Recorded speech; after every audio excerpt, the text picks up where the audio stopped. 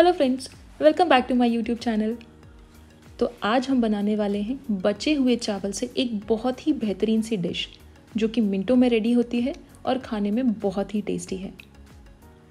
तो चलिए बनाना स्टार्ट करते हैं coriander rice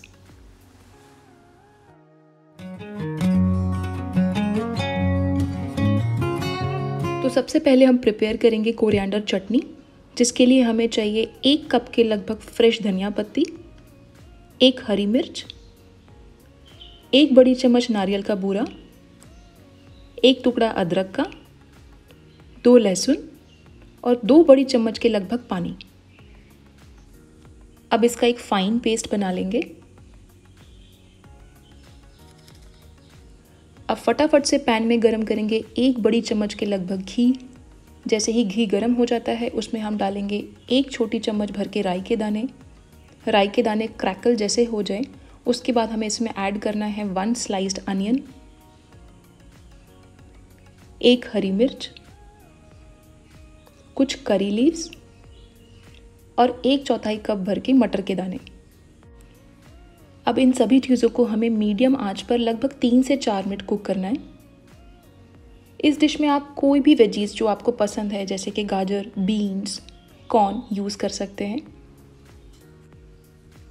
After three to four minutes आप देख सकते हो हमारी प्याज और मटर कुक हो चुकी है। अब हम ऐड करेंगे हमारी कोरिएंडर चटनी। फ्लेम को लो रहने दें और कोरिएंडर चटनी और वेजीज को अच्छी तरीके से मिला दें। अब ऐड करें दो बड़ी चम्मच भर के पानी।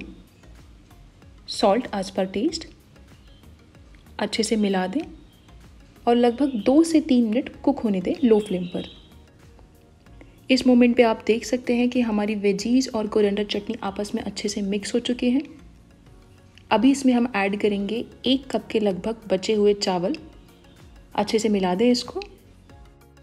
और करीबन दो से तीन मिनट मीडियम फ्लेम पर इसे कुक करें।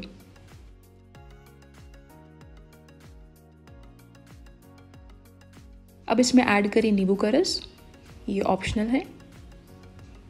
बारीक कटी हुई हरे धनिया की पत्ती। अच्छे से मिला दें इसको। तो लीजिए कितनी क्विकली हमारी ये ब्यूटीफुल सी रेसिपी रेडी हो गई है।